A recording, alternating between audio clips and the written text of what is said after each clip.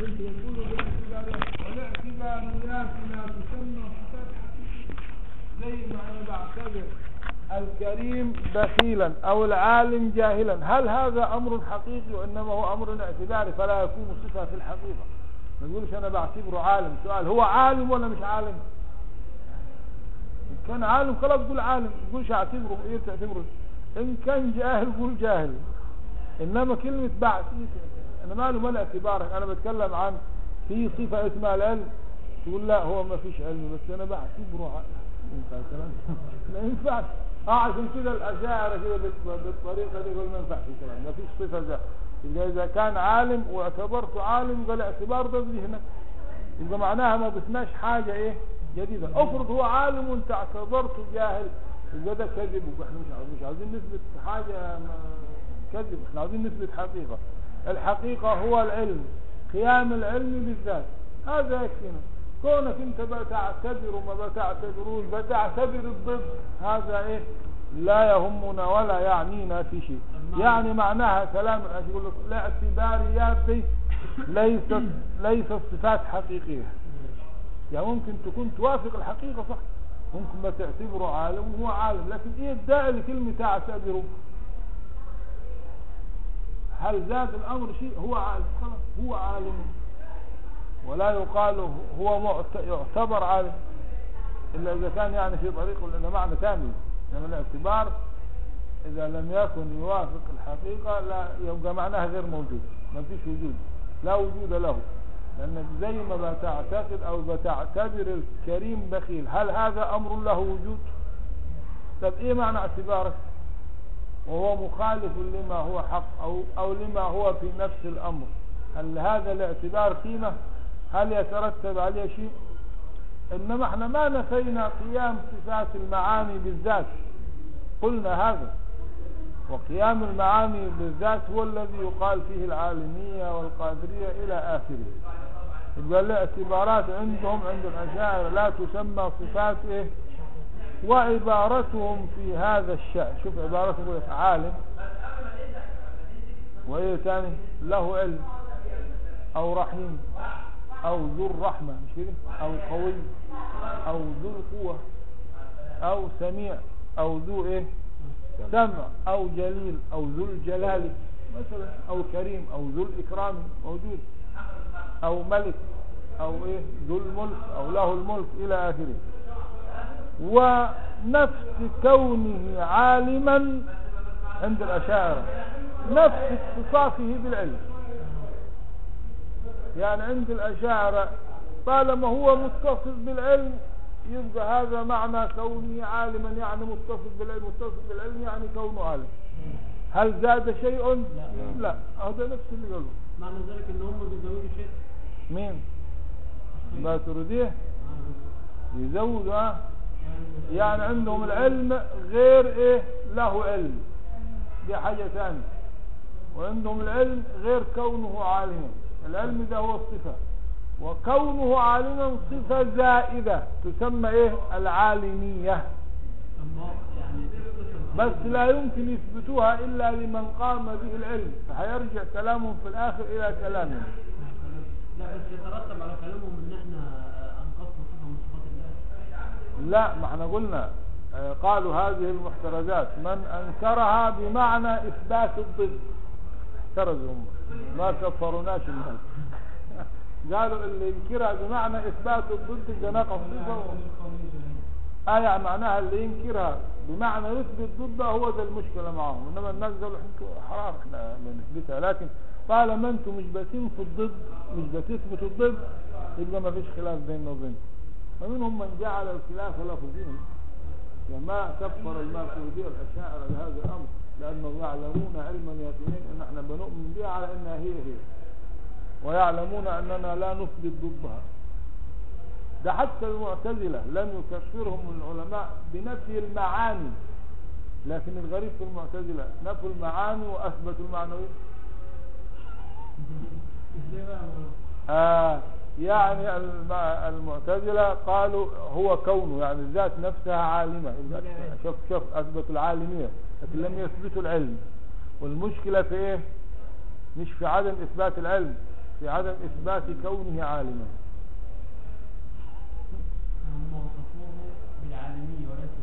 أيوة يعني وصفوا الذات نفسها بالعالمية. يبقى الفرق بين المعتزلة والماتريدية المعتزلة جعلوا الذات هي عالمة وقادرة إلى آخره إنما جعلوا صفة زائدة مش على الذات ده على المعاني. وهي العالمية يعني أثبتوا حاجتين يعني والمعتزلة نفوا الاثنين نفوا واحدة وأثبتوا الثانية. ولذلك تعالى كده. آه إنكار صفات المعاني بمعنى إنكار زيادتها على الذات ده فسق وليس بكفر. إنما إنكار المعنوية بمعنى إثبات الضد هو الكفر. واضح كده ولا لسه؟ يبقى كده المعتصم ما عندهمش كلمة منفصلة ومتصلة منها لا ما عندهمش. ما عندهمش الحتة دي. ونفس بيقولوا كده عالم وله علم. هي معنى بالله عليك. ما معنى له علم. يعني عالم. ما معنى عالم؟ يعني له علم. هو في ناقشنا ونفس كونه عالما هو نفس اتصافه بالعلم. وليس في العقل. ده كلام مين؟ خليكم معي كلام مين ده؟ الأشاعرة. ليس في العقل موجود ولا ثابت. شو شو الأشاعرة ضيق واجب قال لا في موجود ولا ثابت. من خارج سوى نفس الذات والصفات القائمة. شو بس كلامهم دقيق. قالوا لا في موجود ولا ثابت من خارج سوى نفس الذات والصفات القائمة بها. يعني معناها لما قالوا من خارج ده كأنه محترم كلام مين الماتريدية لأنه الماتريدية قالوا في إيه؟ في موجود ثاني خارج. ها؟ لكنهم لم يقولوا بإيه؟ بوجوده وإنما قالوا بإيه؟ بثبوته. فإن عبر شوف كده شوف كلام الأشاعرة جميل والله. قل فإن عبر عن الموصوف شوف حاجة إن عبر عن الموصوف بدون يعني آه، اعتبار أو بدون يعني سواء يعني بصرف النظر عن الصفات إن عبر عن الموصوف نفسه كده. حتى ولو كان مجردا من الصفات. يقال إيه ذات واضح؟ وإن عبر عن المعنى المعنى اللي إحنا نريد زيادة اللي هو المعاني العلم وكده. وإن عبر عن المعنى قيل علم. شوف كده اسمع. إن كان التعبير عن عن الموصوف ذاته ولو حتى باعتبار أنه مجرد عن الصفات يقال ذات. طيب وإن عبر عن الصفة ذاتها بقطع النظر عن قيامها بالإيه ها. يقال صفة. طيب وإن عبر عن الذات باعتبار المعنى. آه. شوف كم حاجة عندنا دلوقتي؟ ثلاث افهم جيدا.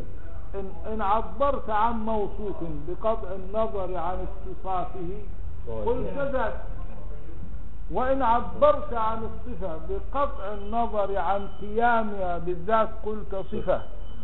وإن عبرت عن الذات باعتبار المعنى الذي قام بها تعال كده. نعبر عن الذات فنقول ذات. ونعبر عن الصفة فنقول علم علم كده مش كده؟ نعم. طيب، إذا أردنا الجمع التعبير عن الذات باعتبار المعنى الذي قام بها قلنا عالم شوف كلمة علم ما اعتبرنا فيها ذات اعتبرنا الصفة فقط. طب كلمة ذات ما اعتبرنا أصلا الصفة. إنما لما ربطنا بينهما لما قامت الصفة بموصوفها قلنا عالم إذا في ذات وفي علم وفي عالم. إذا ما فيش فرق ما فيش حاجة في الخارج إلا ذات وصفات. بس الفرق بي- بين ذلك في إيه؟ التعبير. إن عبرت عن الموصوف قلت ذات وإن عبرت عن الصفة وحدها قلت علم. إن عبرت عن الذات باعتبار قيام الصفة قلت عالم أو عليم طيب اللي ورد في القرآن إيه؟ ها؟ اللي ثبت في القرآن. الله بكل شيء عليم اللي هو المعنوي والله بكل شيء عليم ما وردش كده علم كده وحده كده بانفصاله عن الذات أو بغير قيامه بالذات. كده؟ والله على كل شيء قدير. ليكونه قادر؟ هو معناها على معناها كونه على كل شيء قدير. إنما ما وردش حاجة اسمها القدرة كده واحدة كده وجاءت أدلة على إثباتها كده. ولذلك قالوا إنكار المعنوية ده كفر بمعنى إثبات الضد بمعنى إثبات الضد. إنما بمعنى إنها هي والمعاني شيء واحد أو إنها عبارة عن قيام المعاني بالذات هو ذا الحق. ولذلك الشيخ بيقول هو الحق. ونحن إن شاء الله نعتقد أنه هو الإيه؟ الحق بإذن الله تعالى. ولا يعني نفسق أو نجرح الجماعة اللي قالوا كده. واضح ولا لسه؟ واضح يبقى الآن عرفنا إيه؟ الصفات ال- هم؟ معنويا المعنوية. وعليه على ما تقرر فالصفات المعنوية عبارة عن إيه؟ قيام المعاني بالذات وليس لها وليس لها ثبوت في الخارج. من الذهن يعني لها ثبوت في الذهن إنما خارج الذهن لها لا يوجد لها ثبوت. يصح أن يقال فيه إنه قائم بالذات مثل قيام القدرة. ما يصحش هذا عندنا. وعليه فالاعتبار الاعتبار قسمين. قسم له تحقق في نفسه بقطع النظر عن اعتبار المعتبر وليس آه، بصفة قائمة بالذات ولا يشمل هذا صفات الأحوال لأن الحال صفة قائمة بالذات لمن قال بها. اثنين قسم لا تحقق له إلا في الذهن. كمن يعتقد أن الكريم بخيل فالبخل لا ثبوت له إلا باعتبار المعتبر. وإحنا قسمنا الاعتبارات أو الأمور الاعتبارية قسمين. قسم له تحقق في نفسه لمن قال به. بقطع النظر عن اعتبار المعتبر أو عدم اعتباره. خلاص كده؟ وهذا إيه؟ لا يشمل صفات الأحوال لأنه الحال صفة قائمة بالذات لمن قال بها. مش مسألة اعتبارية عنده. عنده صفة قائمة بالذات. في قسم ثاني في الاعتبارات اللي إحنا ممكن نقول به اللي هو لا ثبوت له إلا في الذهن. يبقى. معناها البخل, البخل ده لا ثبوت له إلا باعتبار المعتبر ولا ثبوت له ده إحنا فرقنا بين الإيه بين الأمرين فإحنا ما فيش معنى إحنا نقول بالمعنى ده لأنه لا ثبوت له إيه إلا في اعتبار معتبر. المعتبر فمما سبق ولذلك ما فيش معنى إحنا نقول بال- بالصفات المع... ال- ال- المعنوية بس على أنها اعتبار وليس لها وجود فين. في الخارج فمما سبق نعلم أن الخلاف الخلاف بين الفريقين ينصب على قيام المعنوية بالذات. يعني إحنا ما عندناش مشكلة في إثبات المعنوية لكن عندنا مشكلة في قيامها بالذات. إحنا عندنا حاجتين قائمين بالذات العلم وكونه عالما. وإحنا لم نفرق بينهما إلا في الاعتبار. يبقى المشكلة ليس في إثبات المعنوية ولا في نفيها إنما في قيام المعنوية بالذات. لأن ما يصحش نقول هي قائمة بالمعاني وإلا هتقوم الصفة بصفة آه. مش كلمة القيام بالذات نفسها تدل على أن الصفة موجودة ما قلنا أي موجودة في إيه؟ في الاعتبار اللي هو القيام. لا بس القيام بالذات كونها قائمة بالذات كونها قائمة بالذات أمر وهي شيء وهي قائمة بالذات طب ما هو المعنوية قائمة المعاني قائمة بالذات برضه لا مش مشكلة خلاص كلنا مسلمين. لكن المعنوية بناء على هذا التعريف يكون فيها يعني تضاد أو من ناحية أنها هو قائمة بالذات وليست موجودة. إزاي قائمة بالذات وليست موجودة؟ ويقول لك مش. موجودة الموجود هو العلم ومش منفية لأنه القيام أمر زائد عن العلم. يعني حديث مثلا ده ذات مثلا ولله المثل ده ذات وده صفة. دول اثنين ماشي إحنا عاوزين حاجة ثالثة اللي هم قالوا بها اللي هي قيام الصفة دي بالذات دي. فهم ما يكفيش عندهم إنك تثبت آه، الذات وتثبت الصفات لا عاوزين أمر ثالث هو قيام الصفات بالذات. يعني إيه قيام الصفات بالذات؟ اتصافها بها اتصافها بها بس بس. بمعنى إن هي شيء زائد متحقق الوجود لا إحنا. عندنا الصفات لا هي الذات ولا هي غيره هم ما عندهمش الحتة دي. ما إحنا عشان كده ما احتاجناش لأنه إحنا عندنا الصفات لا هي الذات ولا هي غيره. غير منفصل. هم لما اتكلموا في المسألة كأنهم جعلوا اتكلموا في الصفات كده باستقلالها والذات باستقلالها عشان كده جاء الله أعلم. مقدرش أحكم أنا. ما جاء منين الكلام ده؟ ولا إحنا ما حدش قال من عندنا دي؟ قد يكون فاهم يبقى مما سبق عرفنا وعلمنا أن الخلاف منصب على إيه؟ ها؟ قيام المعنوية بإيه بالذات. فمن نفى الأحوال قال معنى كونه عالما هو قيام العلم به. وضحت اللي ينفي الأحوال يبقى معنى كونه عالم يعني قيام العلم به. طب ومن قال بها يعني بالحال ذهب إلى أن معنى كونه عالما صفة أخرى زائدة على قيام العلم بالذات. لكن هذه الصفة ليست موجودة بالاستقلال كالمعاني ولا معدومة عدما محضا كالسلبية بل هي واسطة بين الوجود وبين العدم حيث لم تبلغ درجة الوجود ولم تنزل إلى مرتبة العدم. ثاني ها؟ يبقى الخلاصة دي. الخلاف منصب على إيه عشان تفهموه؟ مش على إثباتها وعلى نفيها. ممكن نثبتها بالاعتبار على إنها قائمة بالذات. طب تعالوا اللي نفى الاحوال قال معنى كونها يعني معناها ده يؤمن بالصفة. أمال عنده بس عنده بس معنى كونه عالما من الصفة ولكن قيام العلم به. طب ومن قال بها بالأحوال دي اللي هو كونه عالما ذهب إلى انه معنى كونه عالما مش قيام العلم زي ما نقول لا ده صفة أخرى زائدة على قيام العلم بالذات. يعني معنى كده في علمين أو في عالم وفي عالمية قال لك لا لا مش كده مش معناها كده. أمال معناها إيه؟ قال لك الصفة دي مش موجودة. بالاستقلال. زي المعاني حتى كلمة بالاستقلال خطأ لأنه حتى المعاني ليست موجودة بالاستقلال وإنما هي موجودة بوجود الذات. ده اللي أنا كنت خايف منه وجاء أنت لسه ما فهمتش الكلام؟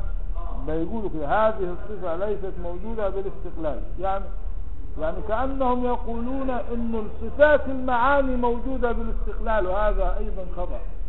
فالذي بني على خطأ فهو خطأ. لا مش كده. كلمة بالاستقلال دي ما ما تديش المعنى ده. يقول لك ليست موجودة بالاستقلال كالمعاني. كالمعاني. يعني المعاني عندهم موجودة وجودا استقلاليا. أهو ده اللي جاب لهم المصيبة هو استقلاليا بمعنى إنها ليست ليست نفس الذات ليست عين الذات. عاد أنت هتدافع عن- كويس أنت لقوا من يدافع وإحنا أنا ما هم مش اشعري هذه الصفة قالوا ليست موجودة بالاستقلال. يعني إيه معناها بالاستقلال؟ يعني عاوز يقول لك ليست موجودة كالعلم ولا معدومة زي الصفات وإنما هي واسطة بين إذا معناها الصفة دي المعاني المعنوية زي ما قلنا أضعف من الحال زي ما قلنا في الأول لأنه الحال موجود إيه؟ له ثبوت. باعتبار مين؟ لكنهم جعلوا هذه موجودة ولكنها مش قائمة بال وجعلوها قائمة بالذات ولكن ليست كقيام العلم. مفهومة لسه؟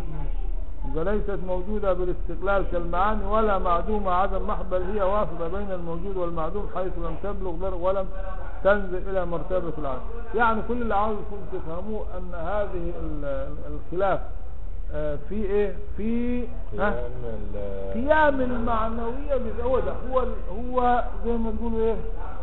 آه، مناط أو هو النزاع الحقيقي بيننا وبينهم في قيامها بالذات إحنا نقول قيامها بالذات هو نفسه المعنوي هو نفس الصفة.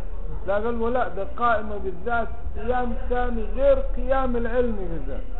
لكن الفرق بينها وبين قيام العلم إنه العلم ده موجود. إنما دي ليست موجودة وليست. وليست معدومة. وضحت ولا واضح. طيب. يبقى اذا آه خلصنا من إيه؟ من الكلام في في قول الشيخ رحمه الله تعالى ورضي عنه آه لا أن لها المعنوية عبارة عن قيام المعاني بالذات لا أن لها ثبوتا في الخارج عن الذهن بناء على نفي الحال على نفي الحال. ليه؟ وأنه لا واسطة بين الموجود والمعدوم.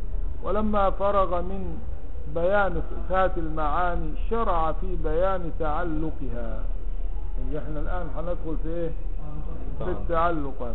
إيه هو التعلق؟ تعريفه اقتضاء أو طلب الصفة أمرا زائدا على قيامها بالذات. يبقى التعلق معناه مش هو الصفة ده حاجة زائدة عن الصفة اللي هو طلب الصفة أمرا زائدا على قيامها بالذات. كاقتضاء العلم معلوما. يبقى إذا التعلق ده خد بالك هيكون في إيه؟ هيكون في نوع حادث لأنه هيتعلق بطلب الصفة أمر زائد. يعني أمر ليس موجود. خلاص كده؟ بيقول لك كاقت امرا زائدا على قيامها بالذات كاقتضاء العلم معلوما. اقتضاء يعني طلب طلب العلم معلوما. ينكشف به واقتضاء الإرادة مرادا يتخصص إيه؟ بها. واقتضاء القدرة إيه؟ مقدورا. وهكذا والسمع أه مسموعا أو موجودا والبصر إلى آخره. إلا صفة واحدة اللي هي صفة الحياة. هكذا وواجب زي ما قال الشيخ وواجب إيه؟ تعليق ذي الصفات حتما ما عدا الحياة. يعني هذه الصفات اللي هي صفات إيه؟ ها؟ صفات المعاني. مش المعنوية عشان إحنا مش بنقول بالمعنى. تطلب الصفات المعاني حتما يعني لزوما دواما على سبيل الدوام والاستمرار وهذا من زيادة التأكيد. لأن الواجب النقلية شيء يعني هو يدعي يقول لك إيه؟ وواجب تعليق ذي الصفات. قال ما هو واجب والواجب لا يتصور في العقل إيه؟ عدم. عدمه فلماذا قال دواما؟ ما هو الواجب شأنه كده.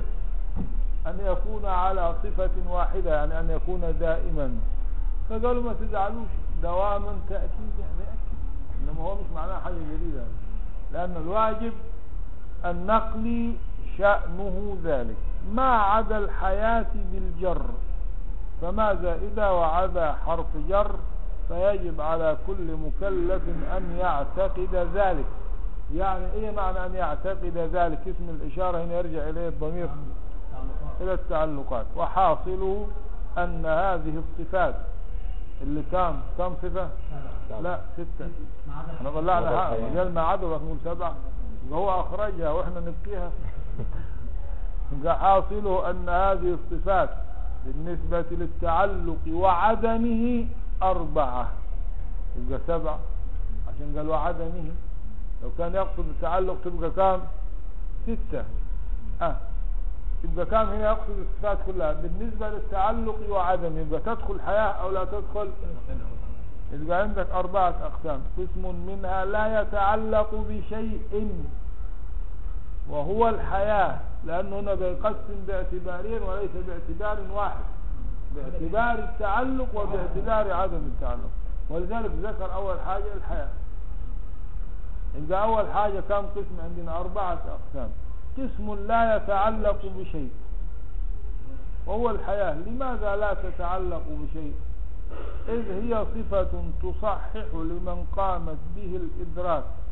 من غير أن تطلب أمرا زائدا على قيامها بمحلها. إحنا إن شاء الله نصلي ونيجي من بعد الصلاة نكمل موضوع الايه تعلقات. تعلقات. اللهم صل أفضل صلاة على أسعد مخلوقاتك سيدنا محمد وعلى آله وصحبه مداد كلماتك كلما ذكرك الذاكرون وغفل عن ذكره الغافلون اللهم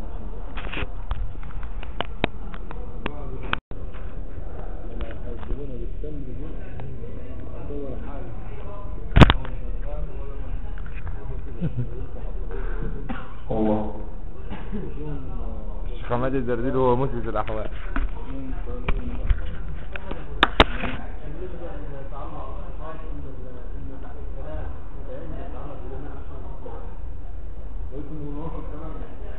العلم والكلام لسه هنقول الآن دلوقتي لا ده دي صفة ثانية. يعني عشان عشان التوضيح لكن هنا بنتكلم عن الصفات بإجمالها هندخل في التفصيل بخلاف ما كان قبل ذلك. المهم سيعود يعني الكلام إذا كان في سؤال. ستأتيك الإجابة إن شاء الله. بسم الله الرحمن الرحيم. نتابع ما وقفنا عنده.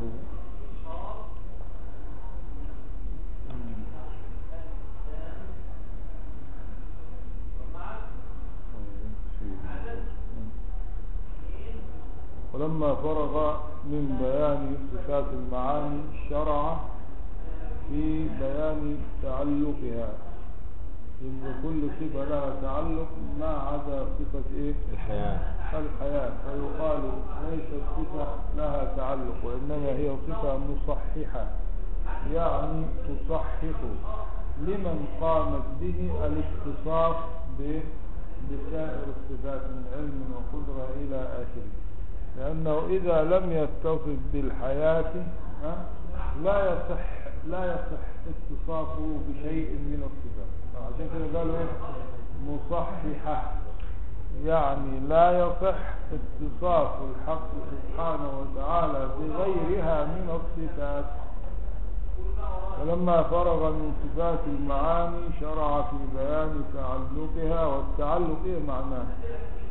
التعلق يعني الصفة تطلب أمر زائد على كونها قائمة بالذات. يعني في حاجتين في الصفة. أنها قائمة بالذات وأنها لها إيه متعلق. واضح كده؟ إنما في صفة واحدة قائمة بالذات ولكن ليس لها تعلق. أما كل صفة من صفات المعاني ما عدا الحياة لها إيه؟ لها أمران قيامها بالذات وتعلقها بأمر زائد على هذا القيام فالتعلق اقتضاء اقتضاء يعني طلب الصفة. أمرا زائدا على قيامها بالذات كاقتضاء العلم معلوما ينكشف به. يعني لا معنى لكون العلم قائما بالذات دون أمر يتعلق به. اللي هو المعلومات اللي هي الواجبات والجائزات. بدليل أن الله تعالى قال إن الله بكل شيء عليم ولم يقل مثلا بكل شيء حي. بكل شيء عليم, عليم. العلم له متعلق اللي هو الأشياء التي يعلمها الله. هي معنى كده الأشياء المعلومات هي متعلق العلم هي التي يتعلق بها العلم. اللي هي الموجودات والجائزات والواجبات كل مستحيل. أقسام الثلاثة. هنتكلم أقسام الثلاثة يبقى صفة تطلب أمر زائد على قيامها بالذات كاقتضاء يعني طلب العلم معلوما ينكشف به واقتضاء الإرادة مرادا يتخصص بها واقتضاء القدرة مقدورا واضح؟ يبقى ال- العلم عاوز معلوم عشان ينكشف. كده مين اللي ينكشف؟ اللي هو المعلوم ينكشف بإيه؟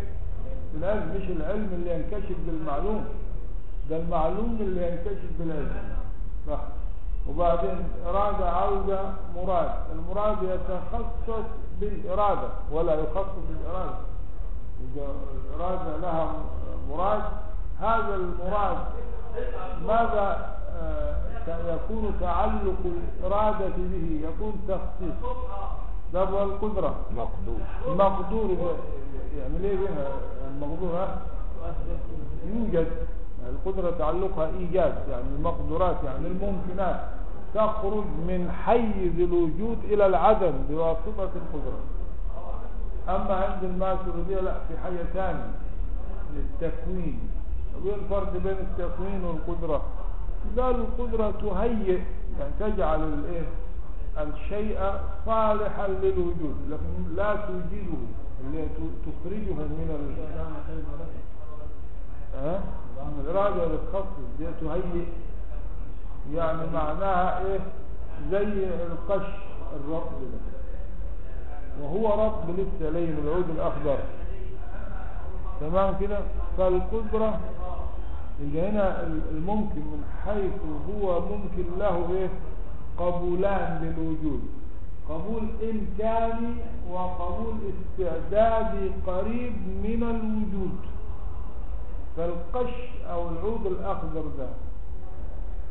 هذا قبوله لأن يتحول أو يقبل الاحتراق. ده قبول إمكاني إنما متى يكون قبول استعدادي بعد إيه؟ أن يجب فكأن القدرة تهيئه يعني تحوله من الحالة إلى أن تجعله يعني إيه؟ على أهبة الاستعداد. لأن يخرج من حيز الوجود إلى الإيه العدم. بدليل الآية إنما أمره إذا أراد شيئا أن يقول له كن. وفي حاجة ثانية بالقدرة معناها إيه؟ عندهم بالم- تهيئة كأن كأنه بيقولوا بالتعلق الصالوح القديم. لا تهيئه أو تجعله في الأزل قريبا من الإيه من الوجود. قلنا في قبولين قبول نعم. إمكاني وقبول. فقبول القش الرب ده للحرف ده وهو لين ده قبول إمكاني. أما هو جاف ده قبول إيه؟ استعدادي يبقى عندهم صفة التكوين أزلية زي القدرة. ولكن المكونات حادثة. وهنتكلم في الفرق بين هذا وبين هذا. يبقى هنا القدرة عاوزة إيه؟ مقدورة. عشان إيه؟ توجد. يبقى تعلق القدرة بالمقدورات تعلق إيه؟ إيجاد. ده بقى إذا كان في المقدورات موجودة بالفعل يبقى في سبع تعلقات في القدرة. فاكرينهم؟ وهكذا فقال وواجب تعليق بالصفات دواما ما عدا الحياة. تعليق ذي ذي يعني هذه الصفات يعني صفات المعاني. حتما يعني لزوما دواما يعني على سبيل الدوام والاستمرار. كل ده إيه تأكيد؟ ما تقفش عنده لأنه هذا من باب بس فقط. لا مش بمعنى واجب واجب يعني أمر ثابت مقرر لا يتصور في العقل إيه؟ نفيه حتما ده تأكيد؟ تمام كده؟ تأكيد يعني زي واجب لازم. زادت على معنى كلمة الوجوب بكلمة أخرى وهي اللزوم. ما هو إيه مش في تأكيد هيهات هيهات. مش في توكيد لفظ في توكيد معنى. في شيء محكم ولكنه ليس بواجب. لكنه عاوز يقول لك هذا واجب ومحكم. خلاص كده؟ وإن قال دواما يعني لا لا تتصور أنه في حالة دون إيه؟ دون غيره ولكنه على الدوام والاستمرار. يعني مسألة تعلق الصفات مسألة واجبة دائمة ثابتة. مست- عاوز يقول لك كده. ما تتخيلش انه التعلق هينتهي. ده عاوز يقول لك كده. ده واجب وأمر ثابت. وهذا كده عشان وهذا من زيادة التأكيد. يعني لأن الواجب النقلي شأنه ذلك. ما عدا الحياة بالجر فما زائدة وعدا حرف جر فيجب على كل أن يعتقد ذلك. وحاصله أن هذه الصفات بالنسبة للتعلق وعدمه أربعة أقسام. قسم منها لا يتعلق بشيء وهو إيه؟ الحياة. ما بشيء تعلق. إذ هي صفة تصحح لمن قامت به الإدراك. من غير أن تطلب أمرا زائدا على قيامها بمحلها. شوف الحياة تصحح لمن قامت به الإدراك. يعني الحي عنده إيه؟ إدراك. إنما الجماعة السلفية قالوا الحياة توجب الإيه؟ إنه في حركة. يعني إذا ما فيش حركة إذا ما فيش حياة لا. قد يكون الإنسان وصل إلى درجة لا يحرك فيها شيئا حتى ولو رمش عينه ولكن فيه قوة الإدراك. فطالما فيه الإدراك يبقى هو حي حتى لو لم يكن إيه؟ متحركا أو حتى لو انقطع عنه النفس. طالما بقي فيه الإيه؟ الإدراك. آه يعني الحياة مش معناها إذا انعدمت الحركة انعدمت الحياة. لا ده بيقول سبع ثمان سنين ما يتحركش وهو مريض ومع وهو إيه أما يركز مين يرث ومين ما يرث يدرك وده عاوز يحرم ده ما يدركش لكن هو بيفكر وتزول هذه ففيه إيه؟ الإدراك. فطالما الإدراك موجود يبقى صاحبنا ده إيه؟ حي. على قيد الحياة. سواء أصيب بإغماء بجنون بفقد إنما عنده إيه؟ صفة الإيه؟ الإدراك. من غير أن تطلب أمرا زائدا على قيامها بمحلها. وقسم يتعلق إذا عندنا قسمين. في تعلق وما فيش إيه؟ تعلق. طيب الذي يوجد به التعلق على ثلاثة أقسام. يبقى الأول ما فيهوش أقسام ما فيش تعليق.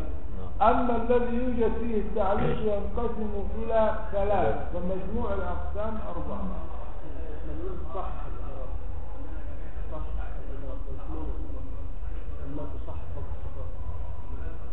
آه ما هو الإدراك ده معناها اتصافها بذاتية لأن العلم إدراك. العلم إدراك المعلومات السمع إدراك البصر إدراك القدرة يعني مش الإدراك بالمعنى الصفة الزائدة اللي قلناها المنظومات والمسلمات وال- لا الإدراك بالمعنى الثابت العام. لأنه من لم يكن حيا لا يدرك يعني لا يسمع بالسمع إدراك. ولا يبصر ولا يقدر على شيء. ولا يتحقق شيء. الإدراك يعني معناه المعنى يعني معناها كده ممكن تشيل كلمة الإدراك وتقول تصحح لمن قامت به ما عداها من الصفات تمام؟ ماشي؟ يا ليس الإدراك صفة وإلا معنى كده هقول بقى- يعني معناها الإدراك ده اللي هو الحياة نفسها يعني. لأنه الحي يعني مدرك يعني مدرك إنه قادر م- مدرك إنه فاعل مدرك إنه مريد أو هذا هو الذي يريد أن يقول. مش صفة وإلا كانوا هجعنا مرة أخرى للصفة التي إيه؟ قلنا فيها بالتوقف. المراد بها يشاء آه، إذ هي صفة تصحح لمن قامت به الإدراك من غير أن تطلب أمرا زائدا على قيامها بمحلها وقسم يتعلق وهو ثلاثة أقسام. يعني عاوز يقول لك كده كان المفروض يقول كده. مش هو قال؟ أربع أقسام. المفروض يقول لك لا. هم قسمان. الصفات اسم لا يتعلق وقسم يتعلق والذي يتعلق ثلاثة أقسام. بدل ما يقول أربعة لكن على أي حال النتيجة كام أيوة أربعة. عملنا طلاب قسمناهم واحد بس دراسة وثلاثة حطيناهم قلنا أربعة خلاص. ممكن؟ واضح كده فالأحسن كان إيه؟ يقول قسمان قسم لا يتعلق وقسم يتعلق والذي يتعلق ينقسم إلى ثلاثة إيه؟ خلاص؟ معلش يعني البشر عالم جميل لكن مش مشكلة آه إذ هي طالما غير الكتاب والسنة يجوز لنا أن إحنا ممكن نعدل على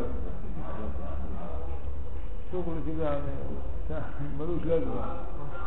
وقسم يتعلق وهو ثلاثة أقسام. الأول منها ما يتعلق آه شوف كده تقسيم هنا. يبقى خلاص. يبقى عندنا ثلاثة أقسام من حيث التعلق. ما بلاش من الرابع لأن الرابع ما مش مش محسوب معنا. آه قسم يتعلق القسم الأول من الثلاثة يتعلق بجميع أقسام الحكم العقلي وهو صفتان. يعني معناه أقول لك هناك من الصفات الباقية. الباقية ستة. العلم صفة العلم وصفة الكلام هذان ها؟ يتعلقان أو هاتان تتعلقان بجميع أقسام الحكم العقلي يعني الوجوب والاستحالة والجواز.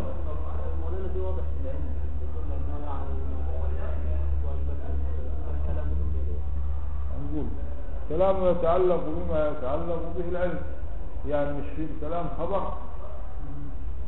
إذا أخبرنا بما هو مستحيل تعلق بالمستحيل ولا النهي الأمر والنهي ده في الممكن؟ والخبر يدخل فيه المستحيل ويدخل فيه الواجب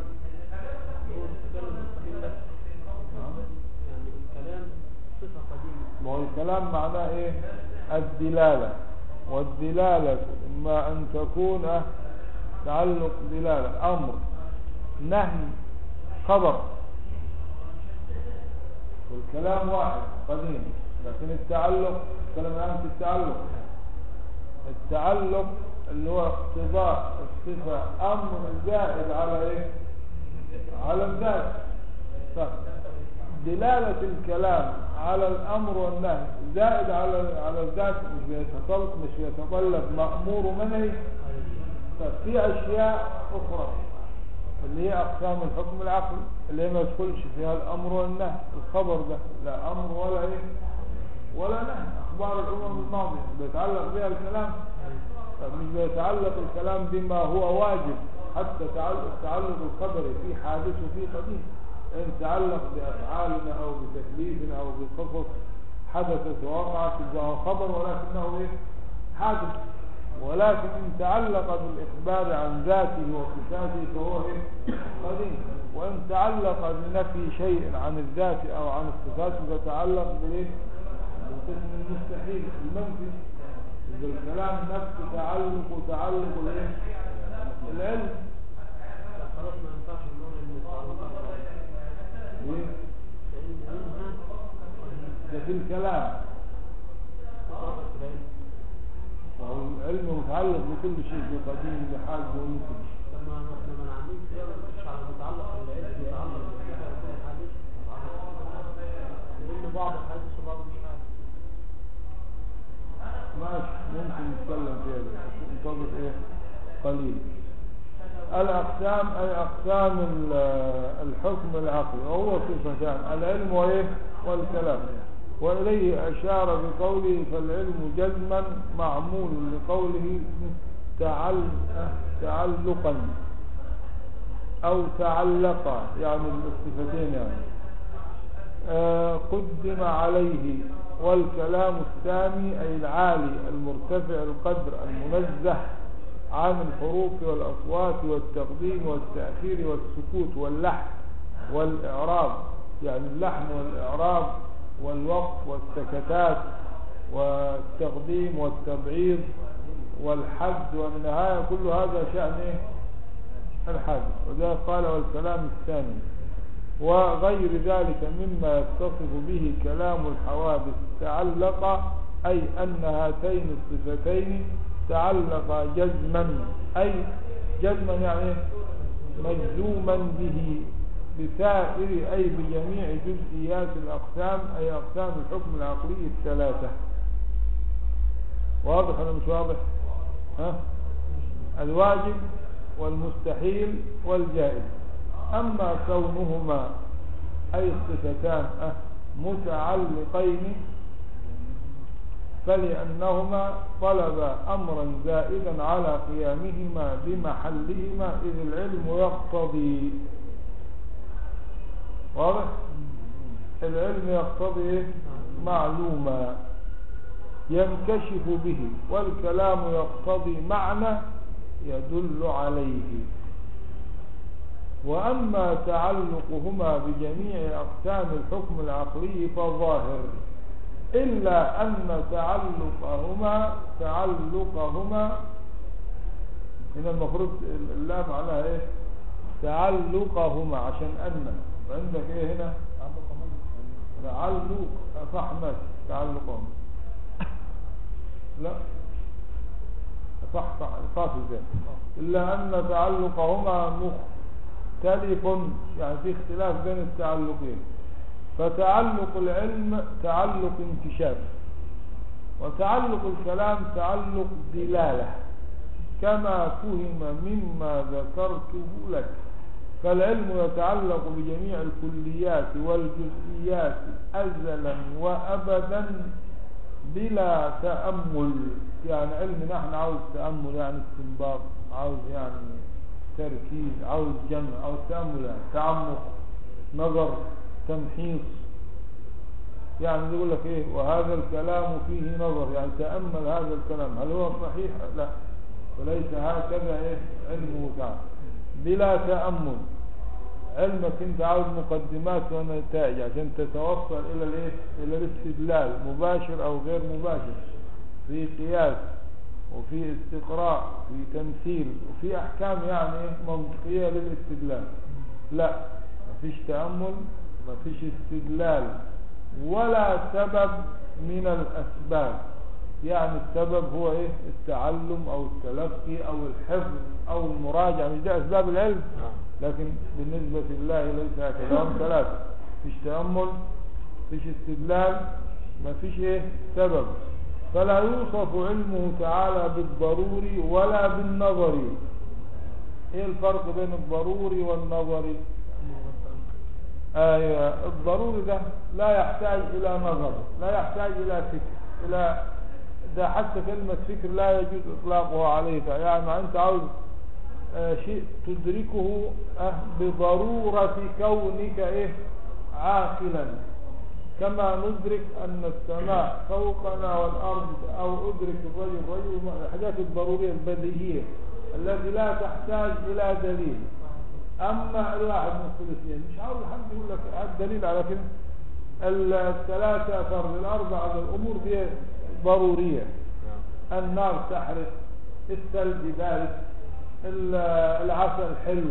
حاجة ضرورية ما حدش يقول لك ها دليل على على إنه العسل حلو. ما فيش ده اسمها إيه؟ ضرورية.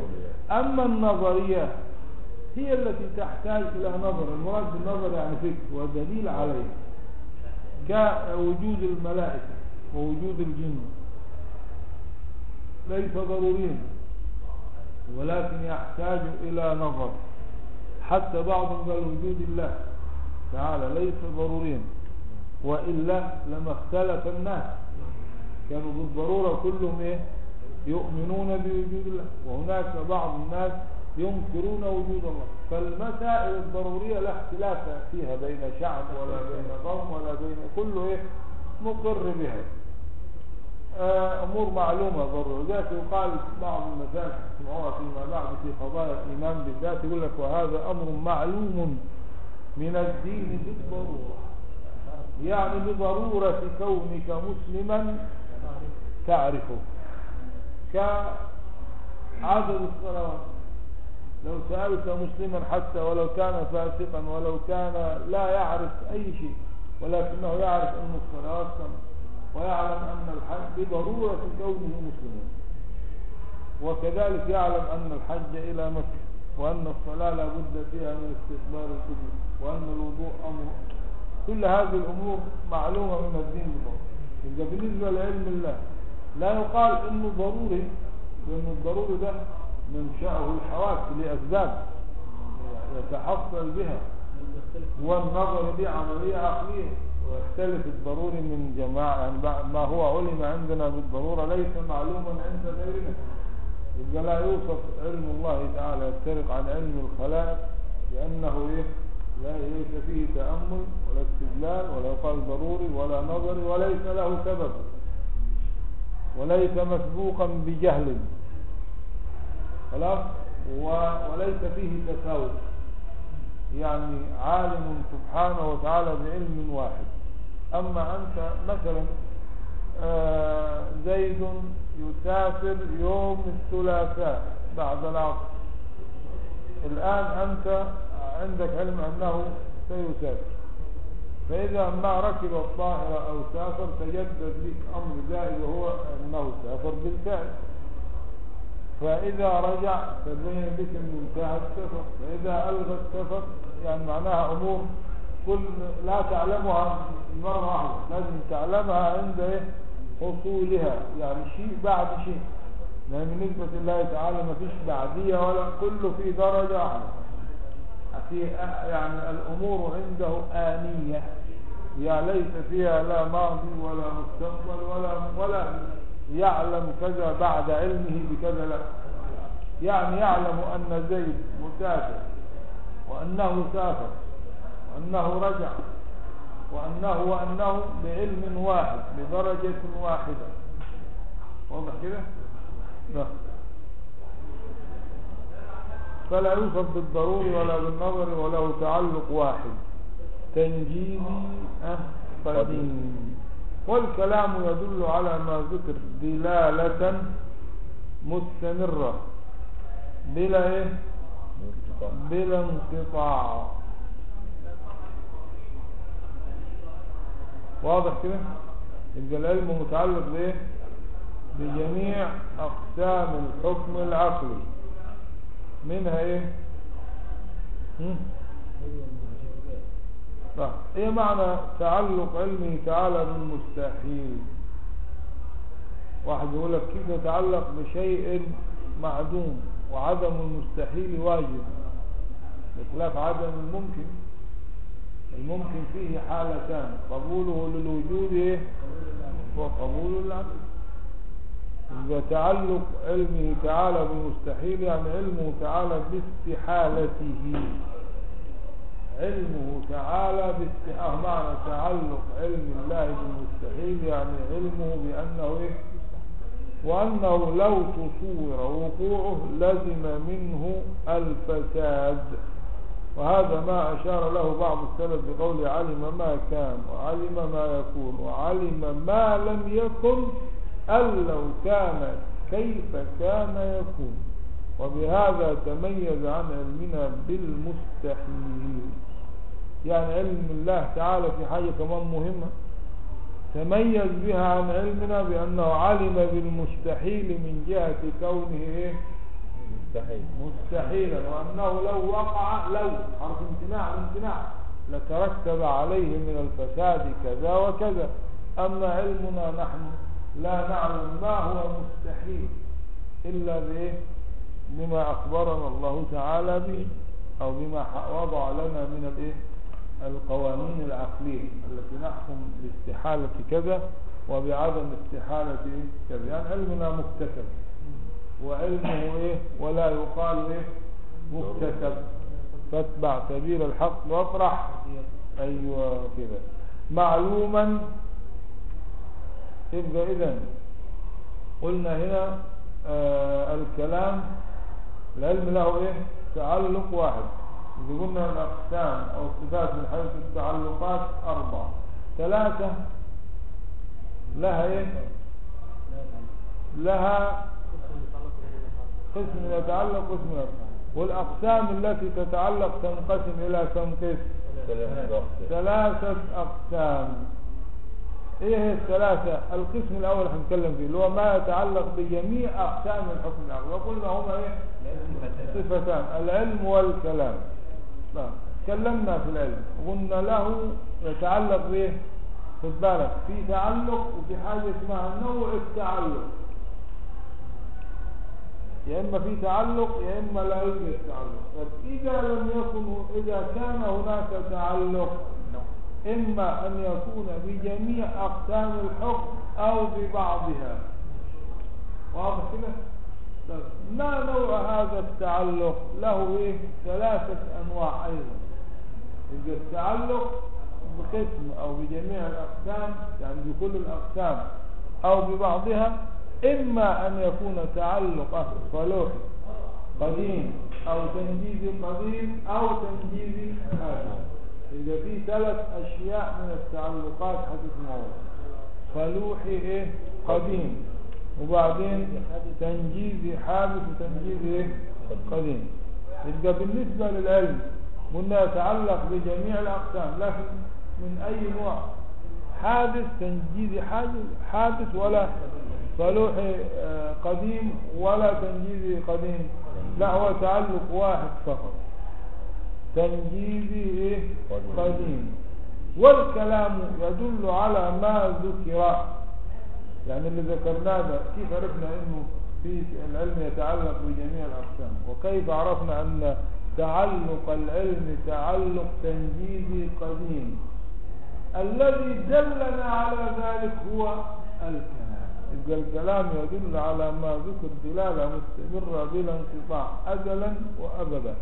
فهو تعالى به يعني بصفة الكلام آمر ناه مخبر.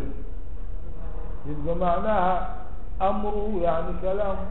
كده نهيه يعني كلام. إخباره يعني إيه؟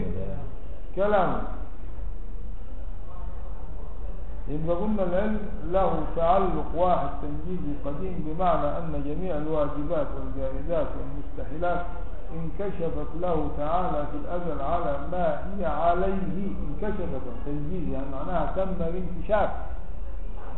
كلمة تنجيز يعني معناها شيء نجز انجز يعني تم انجز يعني معناها ما فيش حاجة آه تنجيزي يعني معناها تم يعني تم تنجز.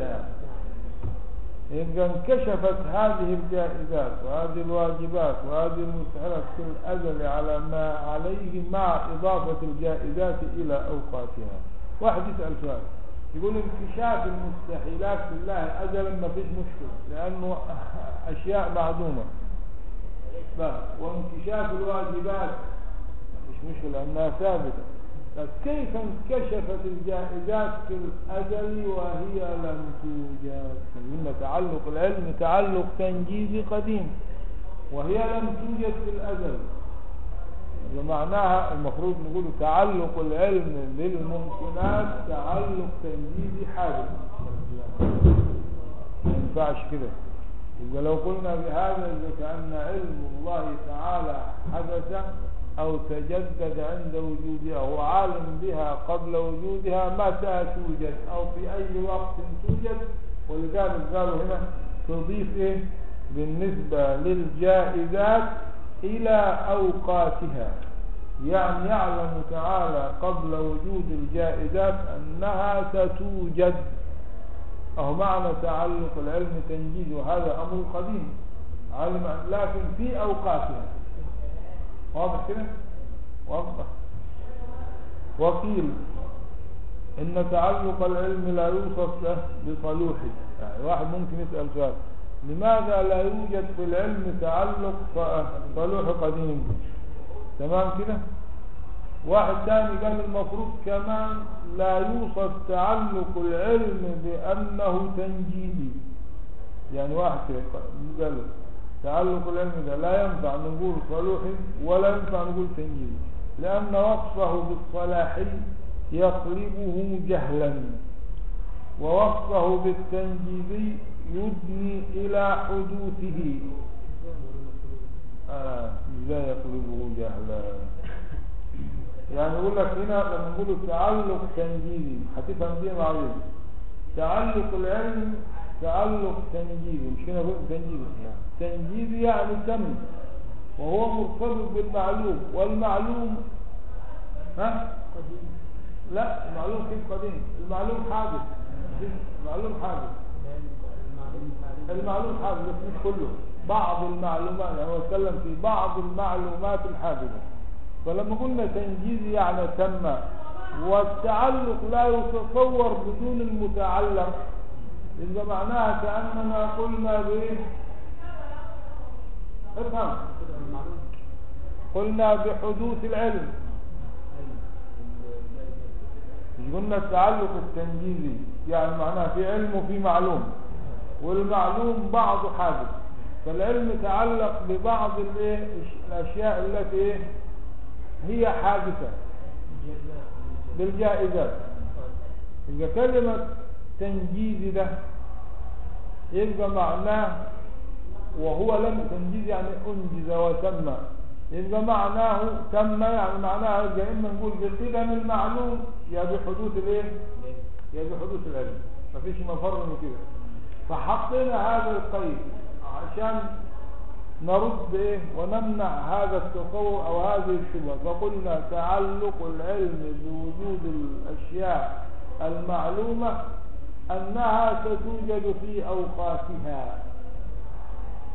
يبقى كده إيه؟ ينفع كلمة تنجيز قديم ولا ما تنفعش؟ ما ينفعش لو ما وضعناش هذا الشرط أو هذا القيد لأنه هيلتبس علينا. يا إما نقول بأن المعلوم ده طالما هو تنجيز يبقى قديم أو نقول بحدوث الإيه؟ العلم وكلاهما باطلا يا إما واحد يتبع واحد يعني المعلوم يتبع العلم أو العلم يتبع المعلوم. ومش هينفع. إلا أن نضع هذا القيد. يجي واحد يقول لي إيه؟ ده. كيف يقلبه جهلا؟ لما أقول إيه؟ آه بدر ده هو مش عالم لكن عنده صلاحية إنه يكون عالم. زي كلمة خالق قبل أن يخلق. يعني معناها مش خالق. طب صلوحي قديم يبقى معناها مش عالم يبقى معناها ينقلب يطلب جهل. بس صالح لإنه يكون يعلم. يبقى في يبقى كلمة لو قلنا العلم له تعلق صلوحي قديم يبقى معناها قلبنا جهل لأنه معناها ليس زي ما خالق قبل أن يخلق. مفيش خلق. يبقى إيه معنى خالق قبل أن يخلق ورب قبل أن يكون مربوب. يبقى معناها خالق سيخلق. معناها كده في تنفع ليه؟ لما ينفع نقول عالم سيعلم يبقى معناها كده خلناها جهل. هو عايزين كده إيه للعلم تعلق صلوح قديم اللي قال ما ينفعش نقول تنجيزي لأنه لو قلنا صلوح يعني كأنكم بتخلوه إيه؟ جاهل. ما عندوش علم بس معناها ممكن عنده استعداد يعني. واضح؟ ما ينفعش في في ال- في ال- في الصفات الذاتية ينفع في صفات الأفعال الخلق والرزق والإحياء ممكن نقول كده. خالق قبل أن يخلق ماشي. رازق قبل أن يرزق ماشي. إنما اوعى تقول الصفات المعاني مثلا قادر قبل ان لا اوعى كده جهل.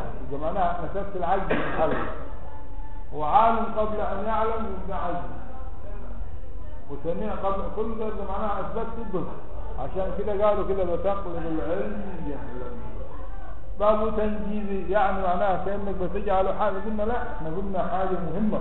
وهي أن العلم آه آه العلم بالأشياء. في الأزل مش معناها الأشياء موجودة وإنما معناه ستوجد في أوقاتها. طب واحد يقول لك إيه طب معنى كده؟ طب ما, نقول لحد لا. ولو قلنا ما فيش تعلق تنجيزي قديم ومعناها التعلق تنجيزي حادث ويفيد سيفيد حدوث العلم نفسه. مفهوم يا أخوان؟ إذا لا نقول بإيه؟ بهذا. إنما نكتفي بأن العلم له تعلق واحد وهو تنجيزي قديم. فإن اختلف مش حد مش حد هيسألك في الواجبات ولا في المستحيلات. المشكلة هتجيلك إيه في الجائزات. فيقال إن تعلق العلم بها في الأزل حاجة من اثنين. يبقى معناها المعلومات قديمة. من لا متعلم بها بإحداثها أو بإيجادها في أوقاتها. فكأن علمه تعالى قديم لم يتجدد. بظهور العالم أو المخلوقات علم جديد له. وإنما هو كان يعلم كل شيء وهو الآن على نفس العلم. مفيش حاجة زيادة جديدة ولا نقص. بل هو تعالى أحاط بكل شيء علما وأحصى كل شيء عددا. يعني حتى الخلائق. القرآن بيقول لك إيه؟ إن كل من لقد أحصاه. أحصاه مش مش سيحصيهم أحصاه. وعدهم. طب كيف عدهم؟ وفي ناس لسه هتوجد يعني في ناس مثلا لم توجد إلى الآن. مش في ناس هتولد الصبح أو هيولد بعد عشر أو بعد حتى مليون سنة في الآن كيف يحصى من لم يدخل في الوجود؟ لأنه دخل فعلا من لأنه لا يوجد في الوجود إلا ما كان في العلم. يبقى هو مح- محصور ومحصى ولا مش محصى بوجوده في العلم. لأنه إذا لم يكن موجود في العلم يبقى مش هيبقى مش هيتوجد يبقى تم ولا ما تمش تنجيزي قديم ولا مش تنجيزي قديم. يبقى اللي يقول الكلام ده إيه؟ أضرب موت إذا اعترض على الإمام الغزالي لما قلنا العلم لا ما كان لا ما هو قلنا من ناحية العلم. أما منها يرد في كل شيء. لأن لا، لا. إحنا نقدر نقول ما في الإمكان غير ما كان مم.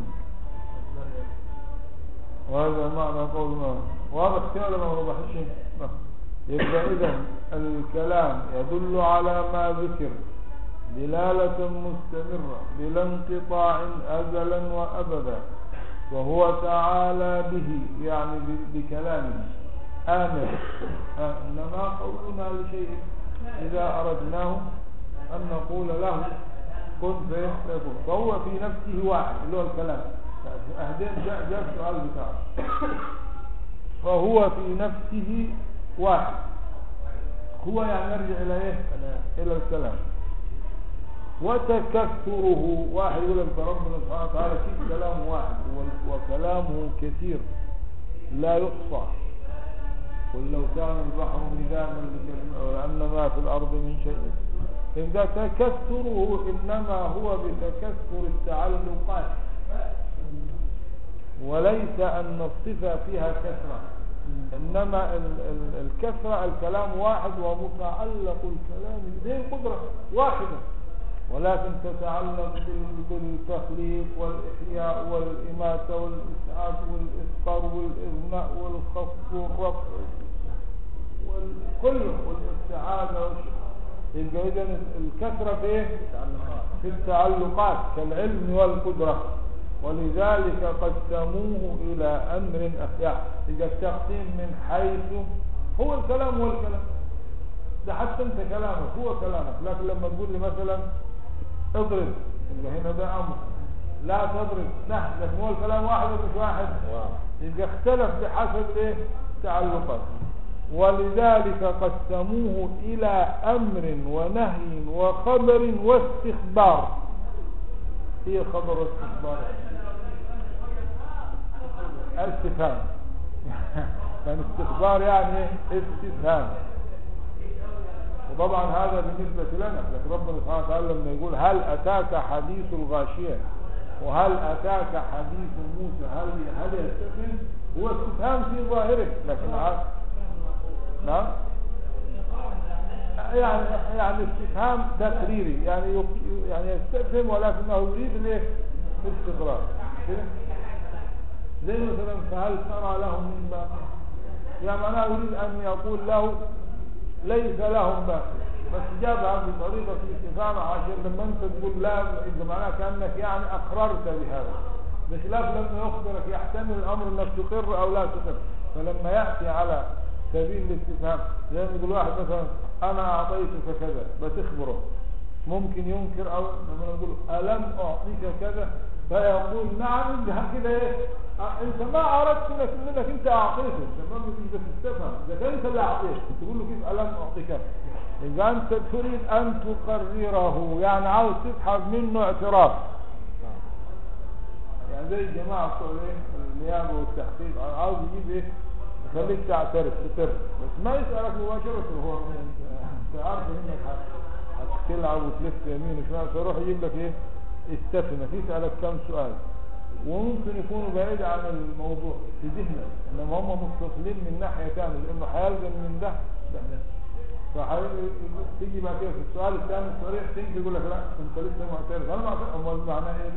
يعني هيجيب لك اللوازم. ولذلك قسموه إلى أمر ونهي وخبر واستخبار. فمن حيث اقتضاؤه فعلا أو تركا يسمى أمرا ونهيا. وخد بالك كل كل أمر بشيء فهو نهي عن ضده. الأمر بالشيء نهي عن ضده. خلاص كده؟ لا ومن حيث تعلقه بثبوت أمر لأمر أو نفيه يسمى خبرا. إحنا بنسميه إيه في ال آه، إيه ده اسمه إيه؟ اسمه الحكم الحكم. يعني إثبات أمر لأمر أو نفيه عنه. ده اسمه حكم ده. فالحكم حاجة من اثنين. يا إما إثبات إما لا تخرج الاحكام كلها عن هذين عن هذا المعنى. آه، إثبات أو يعني حكمت المحكمة ببراءة فلان. يعني زي معناه يعني نفي التهم حكمت المحكمة بإدانته أو بحبسه أو بجلده يعني معناه إثبات لأن مطالبة في إدانة بمعناها المشكلة ثابتة. ثبتت عنده. براءة يعني إيه؟ نفي طب هات لي كده المحاكم كلها من منذ أنشئت هل حكمت بغير هذا؟ حكمت بالتوقف؟ لا ده ممكن تحفظ القضية. يقول لك ما هو برضه ده إيه؟ نوع من الإثبات أو نوع من النفي. إذا الأحكام كلها تدور في الإثبات وإيه يعني إثبات الأمر لأمر أو نفيه إيه؟ عنه هذا هو معنى الحكم. يبقى من حيث اقتضاؤه فعلا أو تركا يسمى أمرا أو إيه؟ أو نهيا. ومن حيث تعلقه هو تعلقه ليه؟ لأنه حيث لا تضاف إلى إلا إلى الجمل. فأتاهم الله من حيث لم يحتسبوا ما تضافش إلى الإيه؟ إلى المفردات. يبقى اللي بعد هذا يعرب مبتدا. ما يعرب ما يعربش مضاف إيه إليه. ومن حيث تعلقه بثبوت أمر لأمر أو نفيه يسمى خبرا. وهل يشترط في تسميته بذلك كالخطاب؟ يعني مثلا بعض الأصوليين يعرف ال- ال- ال- الحكم إيه؟ خطاب الله. قالوا بعضهم عدل ترك القرافي وغيره في الأصول قال لا كلام الله. لأنه لا يقال خطاب الله في الأزل لعدم وجود المخاطبين. فالخطاب ده معناه هيدل على وجود المخاطبين والحكم قديم. لأن الحاكم به إيه؟ قديم فالقرافي وغيره رفضوا كلمة إيه؟ خطاب الله وقالوا كلام الله من حيث إيه؟ الدلالة لأنه يدل على؟ الحكم ولم يقولوا خطاب الله يبقى هنا يقول لك ولأجل كونه ده الكلام كثرة الكلام ده الكلام الكلام واحد ولكن الكثرة في إيه؟ ها؟ في في التعلقات ما هو اشترط في يعني المشكلة مش تتعلق المشكلة في وجود المخاطبين لا الدلالة ما يشترطش أو الخبر ما يشترطش يشترط الخطاب كيف يخاطب اسمه خاطب لازم يكون إيه؟ يعني التعلق به ما ينفع- ما ينفعش في الأزل عن- لأنه إلا إذا أضفنا كلمة إلى ساعة أو إلى حين وجود المخاطب. يعني متعلق بالمخاطبين بس إيه؟ في وقت أن يوجد. إذا حطينا هذا القيد تمشي ولذلك الجمهور لا يعرف الحكم الشرعي بأنه خطاب الله. ده واحد أو اثنين اللي خالف خلاص واحد. ما هو مش مشكول مش ليس موجودا ان وضعنا هذا القيد إلى ان يوجد أو ساعة أو وقت وجود المخاطبين نعم هو قديم ولكن التعلق ملوش دخل الك- الكلام بال- بالتأثير هذا من متعلقات القدرة ماشي آه يعني تعلق الصفات كلها قديمة الش- الشأن تعلق القدرة بوجود زيد يعني هل معناه زيد موجود في الأزل؟ ولا ساعة أن يوجد؟ أو ساعة أو في وجوده فيما لا يزال. كذلك يقال في الكلام أنه ساعة أن يوجد المخاطب يتعلق به الخطاب ويسمى خطاب باعتبار أنه سيتعلق بالمخاطب في الأزل وليس؟ في في حاله. وليس لا يسمى خطابا في الأزل إلا باعتبار أنه سيتعلق بالمخاطبين عند وجودهم. نعم. هو كده كده يتعلق بالمخاطبين إيه فائدته في الأجل يقول إيه فايدته في الازل ما هو علم الله أنه حن- ما هو يتعلق كلام مما يتعلق سيوجد مخاطبين مش كده؟ ولا محالة أنهم سيوجدون وسيوجه إليهم هذا الخطاب الأزلي بحسب الدلالة بالحروف والأصوات الحادثة. يبقى كده في تعلق في الأزل ولا ما فيش؟ في تعلق. إنما مش معنى وجود التعلق في الأزل وجود المخاطبين ولذلك نفر منها وفر الإمام القرافي من هذه ال- الكلمة اللي هي تسمية الكلام خطابا. لأنه الكلام ما فيهوش خطاب فقط. فيه دلالة وفيه أمر وفيه نهي وفيه خبر وفيه استخبار. ده نوع من الأنواع. هتفهم أص- اصغي سمعك أو ألق السمع وأنت شهيد ولذلك أي ولأجل كونه آمرا. قلنا الأول الكلام متنوع ومتعدد بحسب التعلقات ولكن في نفسه واحد. فالكلام متنوع إلى أمر ونهي وطلب. وإيه؟ وترج كمان يعني في يعني الترجي والتمني وكل ده مش كلام إلى غير ذلك يعني في كثير يعني تعلقات كثيرة. وإذا كان كذلك فيكون جنسا. يعني معناها عاوز يقول لك في أنواع. ما هو الجنس تحته إيه؟ أنواع. إذا معناها جنس. ها؟